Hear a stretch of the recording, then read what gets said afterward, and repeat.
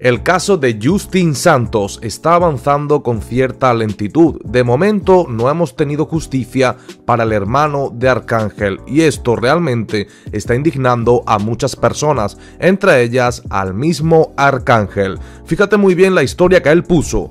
Pospusieron la primera vista del caso de mi hermano como era de esperarse. Mañana es la otra vista y aún no le dicen a mi madre a qué hora es.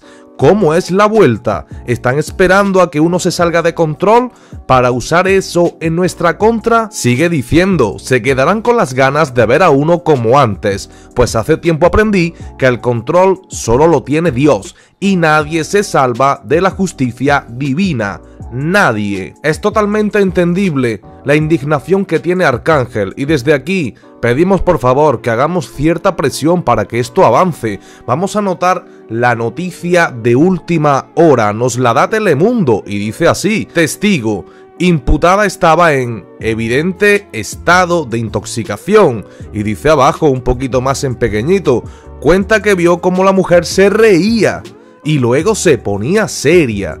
O sea, esto es muy serio, muy fuerte, porque date cuenta que lamentablemente en ese accidente de tránsito perdieron la vida, bueno, el hermano de Arcángel y otras personas salieron heridas. Pero nos está contando una testigo que vio cómo se reía, al parecer y supuestamente la causante, o la que en este caso era la que estaba intoxicada. Fíjate que dice así. La vista preliminar contra Mayra Navarez Torres, imputada de provocar el accidente en el que falleció el hermano de Arcángel, Justin Santos Rosa, testificó este jueves el agente de la División de Patrullas de Carreteras, Benedicto Oquendo Torres. El policía describió a la imputada como en evidente estado de intoxicación, con hablar pesado, ojos rojizos y un olor fuerte a alcohol.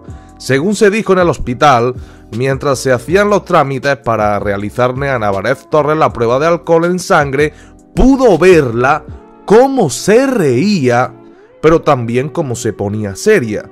El accidente ocurrió el pasado 21 de noviembre en el puente Teodoro Moscoso. El proceso fue pospuesto en enero. La mujer enfrenta cargos de imprudencia crasa y temeraria que provocó el fallecimiento de Justin Santos y heridas en otras personas, además de viajar, perdón, además de manejar en un estado de embriaguez. A esta señora le radicaron cargos el 17 pasado de diciembre y se le puso una fianza de 300 mil dólares que fue presentada por la Oficina de Servicios con antelación al juicio. Desde entonces permanece bajo supervisión electrónica. Se expone a una pena máxima de 15 años de cárcel. Esto es lo que tenemos hasta el momento. Yo quiero preguntarte a ti qué tú piensas de todo esto. Déjame tu respuesta abajo en la cajita de comentarios. No olvides darle like a este vídeo, compartirlo y suscribirte. Más nada, te me cuidas, bendiciones y éxitos. Se acabó la espera. Se repite la historia con Tony Vega. Tony Vega Intimo Tour. Y esa mujer que Sábado 12 de marzo en Plaza México 2 de Hartford, Connecticut.